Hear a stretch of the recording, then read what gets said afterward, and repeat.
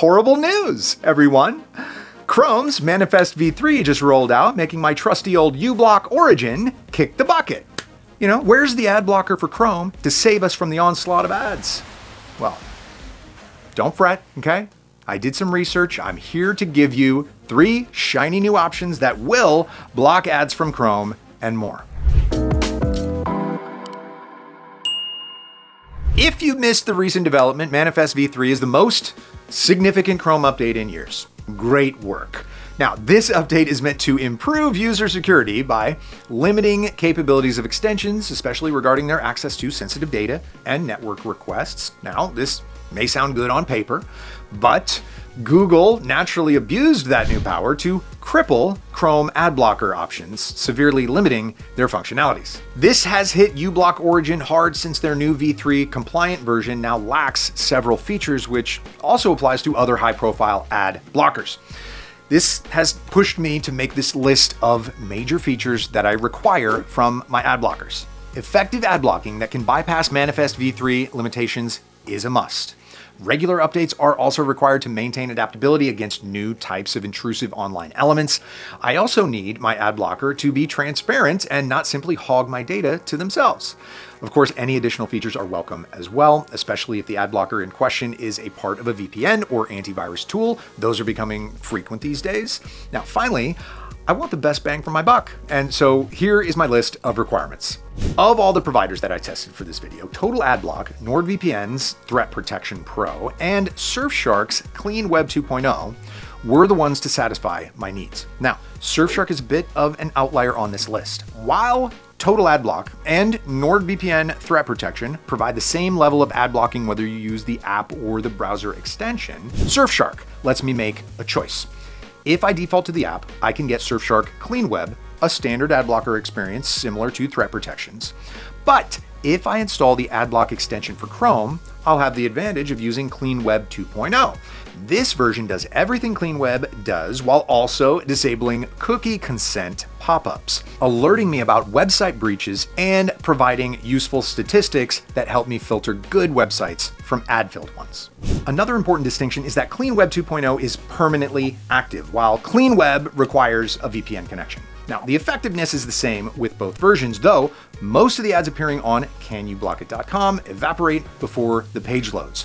Considering that this is the website used to test ad blockers by pushing them to the limit, this is a good result right there. Now, that said, Surfshark's main benefit comes from Surfshark One. Now, that's a cybersecurity bundle containing a bona fide antivirus and a few additional cybersecurity features related to web browsing. So, does that sound good? Now, if that sounds good, check the link in the description for a discount or scan this QR code for the best Surfshark discount. Total AdBlock is closely related to Total AV, an industry favored antivirus provider, so my expectations were high even before I tested it. Now, Total AdBlock's preferred model of blocking ads is through filtering URLs and scripts associated with advertising networks. Now, being an app-based ad blocker, Total Ad Block completely avoids the limitations created by Chrome Manifest v3, which also allows it to modify the HTML and CSS of the page to remove or hide pop-ups that are preloaded on the web pages. So, in my experience, the Total Ad Block app also effectively weeds out trackers that collect user data for advertising purposes. I mean, hey, protecting privacy is one of the main purposes of an ad blocker, so I'm glad to see Total AdBlock deliver on that front.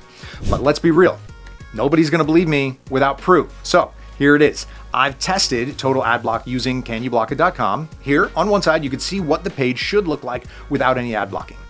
On the other side is the part cleansed once and for all with Total AdBlock. Almost all the visual clutter is just gone, which is more than I get from an average ad blocker for Chrome. I mean, the only real problem with Total AdBlock is that it's an ad block, and Chrome hates those. Modern problems require modern solutions. That's where NordVPN Threat Protection Pro comes into play.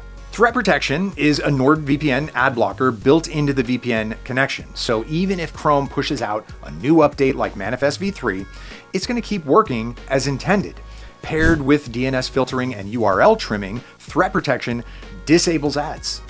It blocks malicious domains and cuts away tracking parameters attached to URL links. Compared to Total Ad Block, Threat Protection Pro even scans downloaded files for signs of malware without requiring a separate antivirus solution. So Threat Protection Pro is also slightly more flexible than an average Chrome ad blocker. It lets me whitelist any website that I want so I can still watch ads on websites that I want to support. I can also maintain ad blocking without enabling the VPN, but turning it on hides my activity from third parties and even my ISP. This way, I can always choose whether to block ads only or also improve my privacy.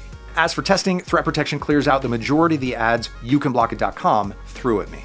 Now, Surfshark is also the best deal, so yeah, let's discuss the elephant in the room. Yeah, all three options that I've introduced are paid for, but in a good way. They're not overly expensive, and honestly, knowing that I pay for regular filter updates, feature improvements, and customer support makes me feel a bit safer. Now, free ad blockers are great, but just having the assurance that these guys are not going to give up on me like uBlock Origin is worth arguably the low price that these providers ask for. Now, of course, you can always bring those prices even lower with a discount. Just scan the link in the description or one of these QR codes to get the best coupon code. So that's about it. If you have any other questions, don't hesitate to let me know in the comments. Thanks for watching and make sure to come back for another review. I'll see you soon. Bye.